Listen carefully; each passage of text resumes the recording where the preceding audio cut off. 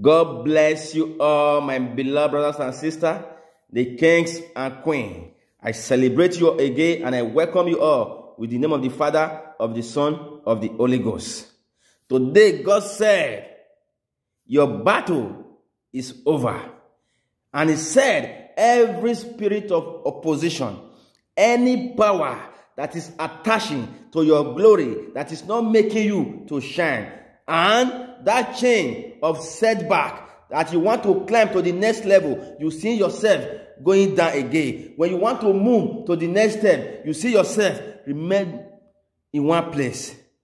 By the power of the Almighty God, God will help you to take them away. In the mighty name of Jesus.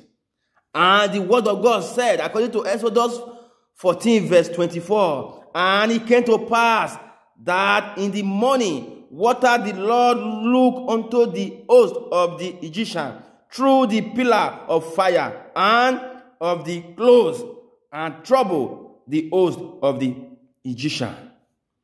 Today, any man or woman, any evil altar who are calling your name for no reason, by the power of the Almighty God, God will put them in shame.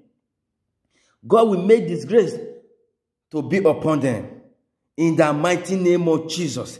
Because the God who sent a fire, who bring a trouble upon the Egyptian, ah, I decree and I declare, and from this moment, you are going to move to that next level. You are going to excel in this generation, in this year.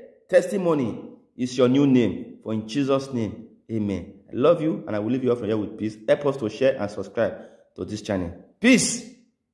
Bye-bye.